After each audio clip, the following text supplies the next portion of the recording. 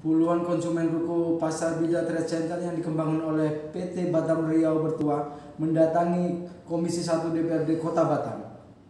Adapun kedatangan para konsumen yang didampingi oleh kuasa hukumnya tersebut dikarenakan adanya dugaan kecurangan yang dilakukan oleh pihak pengembang.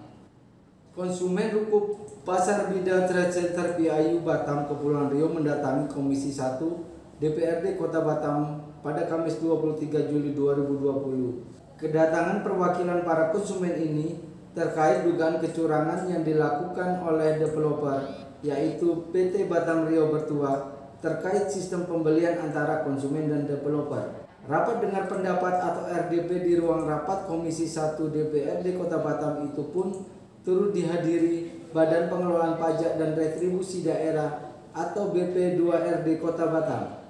Kuasa hukum konsumen PT Batam Rio Bertua Ricardo Rando Sidda Putar mengatakan ada dugaan kecurangan yang dilakukan oleh developer mengenai pembayaran BPHTB yang dinilai tidak masuk akal. Mengenai persoalan BPHTB ini, pihaknya juga mendesak BP2RD Kota Batam menegaskan mengenai aturan yang berlaku, di mana sesuai dengan komunikasi selama RDP berlangsung, pihak BP2RD menerangkan bahwa nilai yang ditagihkan pada konsumen harus sesuai dengan sistem pembayaran nilai jual beli yang berlaku. Tidak hanya itu, pihak pengembang juga diduga menerapkan aturan denda yang tidak masuk akal. Untuk penerapan denda selama pembayaran cicilan yang dilakukan oleh konsumen, diakuinya tidak pernah dijelaskan sebelum konsumen menandatangani perjanjian jual beli. Pihak pengembang pun juga diakuinya masih berkelit saat dimintai keterangan mengenai surat hak guna bangunan atau SHGB dan akta jual beli, di mana selaku kuasa hukum Kedua dokumen itu tertera pada brosur yang dibuat oleh PT Batam Riau Bertua. Sementara pihak konsumen PT Batam Riau Bertua tengah mempertimbangkan membawa permasalahan ini ke Badan Penyelesaian Sengketa Konsumen atau BPSK. Serta pihak konsumen juga mengakui telah mengambil jalur hukum dengan melaporkan tindakan kecurangan tersebut kepada pihak kepolisian. Boleh main-main. Jadi artinya kita berharap ya lewat RDP hari ini pihak DRD jangan lagi keras kepala.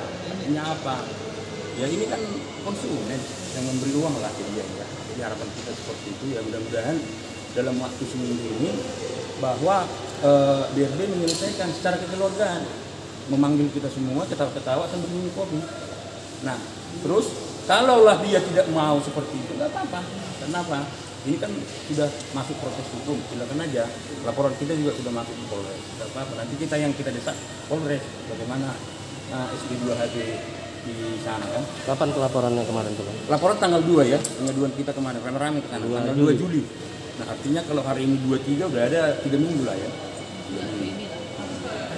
Nanti kita minta SP2 Hal senada juga dilontarkan oleh anggota Komisi 1 DPRD Kota Batam, Utusan Sarumaha, yang menilai adanya dugaan kecurangan yang dapat dilakukan oleh pihak penjual. Memiliki latar belakang sebagai pengacara, utusan juga menegaskan bahwa dugaan kecurigaan tersebut muncul akibat adanya ketidakcocokan alasan dari pengembang saat menjawab pertanyaan dari para konsumen selama RDB berlangsung. Tapi saya memang saya melihat bahwa hari ini beberapa hal yang sangat krusial itu terkait dengan BPHTB dipungut dipungut dipungut dari konsumen tapi ternyata tidak dilakukan penyetoran sesuai dengan yang dipungut. Tapi kan perusahaan sudah sudah menyampaikan bahwa akan mengembalikan kelebihan-kelebihan yang sudah dipungut dari konsumen.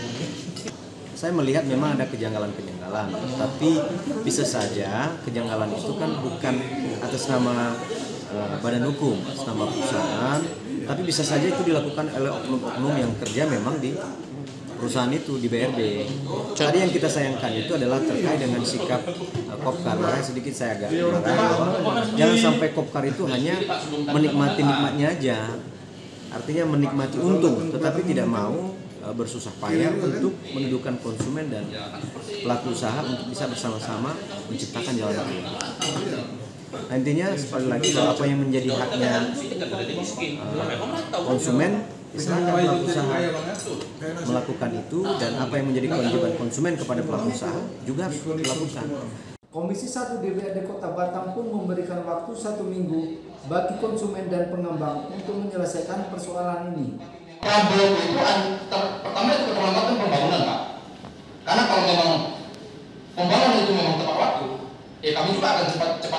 beliau itu selalu melalui staff juga melalui beliau juga selalu. Jangan lupa like dan subscribe.